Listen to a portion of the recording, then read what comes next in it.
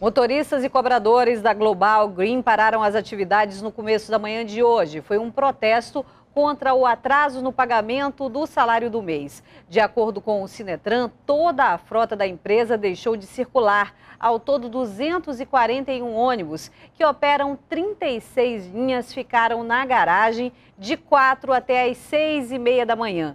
Cerca de 150 mil moradores da Zona Leste foram prejudicados. O Detran entregou hoje para a SMTU a análise do tempo de habilitação dos mototaxistas que tentam se legalizar. Agora, o processo de licitação deve ser retomado pela Prefeitura. Na lista, 1.600 nomes de mototaxistas. Existem alguns nomes que não estão no nosso cadastro.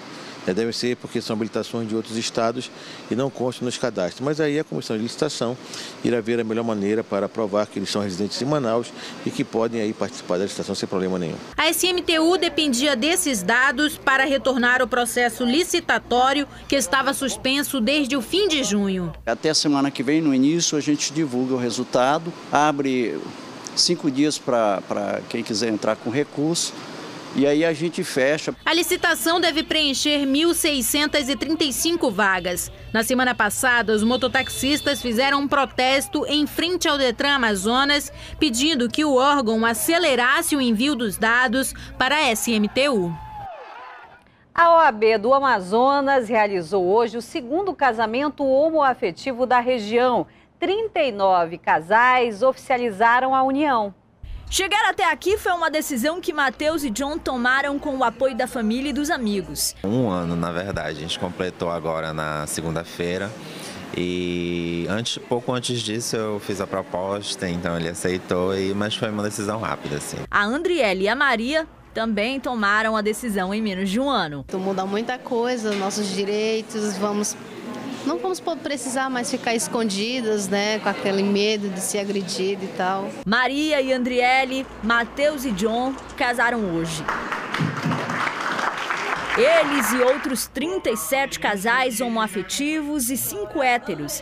A cerimônia foi na sede da OAB. Foi o segundo casamento homoafetivo da região. Há de se entender que direitos são para todos. Todos os brasileiros são destinatários de direitos. Isso aqui é uma manifestação livre de que todas as pessoas também têm direito à felicidade. O governo do Estado assume essa política de forma a garantir a todas as pessoas os direitos civis, políticos, coletivos e individuais que estão consignados na lei. A OAB já incluiu o casamento coletivo homoafetivo no calendário anual. O número de casais aumentou, né? E eu acredito que cada vez mais nós teremos mais, é, até o dia é, em que isso se torne uma, uma, uma, uma realização tão normal dentro da sociedade que nós não precisamos fazer um evento né, especial para isso. Quem tiver interesse deve procurar a Ordem dos Advogados no Amazonas.